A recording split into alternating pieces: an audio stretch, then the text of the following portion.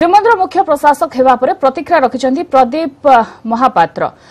ସେ କହିଛନ୍ତି ଶୃଙ୍ଖଳିତ ରଥଯାତ୍ରା ପରିଚାଳନା କରିବା ମୁଖ୍ୟ ଦାୟିତ୍ୱ ହେବ। ପୂର୍ବରୁ ପୁରୀ ଜିଲ୍ଲାପାଳ ଏବଂ ମନ୍ଦିର ମୁଖ୍ୟ ପ୍ରଶାସକ ଭାବରେ ମଧ୍ୟ କାର୍ଯ୍ୟ କରିଛନ୍ତି ସେ। ତେଣୁ ସମସ୍ତ ସେବାୟତଙ୍କୁ ନେଇ କାମ କରିବି ବୋଲି କହିଛନ୍ତି। ସରକାର ଯେତେବେଳେ ଯେଉଁ ଦାୟିତ୍ୱ ଦେଇଛନ୍ତି ତାକୁ ଠିକ୍ ଭାବରେ ତୁଲାଇବି ବୋଲି କହିଛନ୍ତି ଶ୍ରୀମନ୍ଦିରର ନୂଆ ପ୍ରଶାସକ।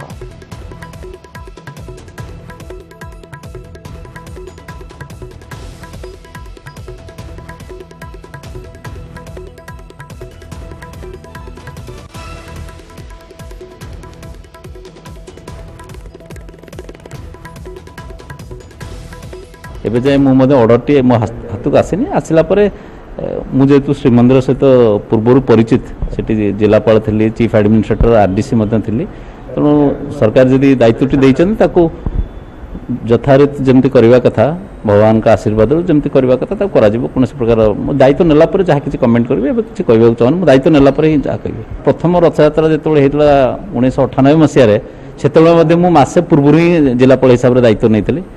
ମୋର ମନ ଅଛି। ତେଣୁ ନିଶ୍ଚୟ ସମସ୍ତ ସେଠିକାର ସେବକ କର୍ମଚାରୀ ସମସ୍ତଙ୍କ ସାଙ୍ଗରେ ମିଳିମିଶିକି କାମ କରିବେ।